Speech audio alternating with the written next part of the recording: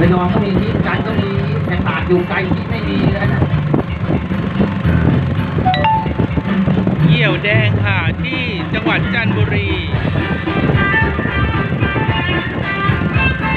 มาคนตลาดคนระยองขึ้นมาให้หมดเชียงใหม่ได้เป็นไงระยองมีบ้านที่ใหญ่ตาม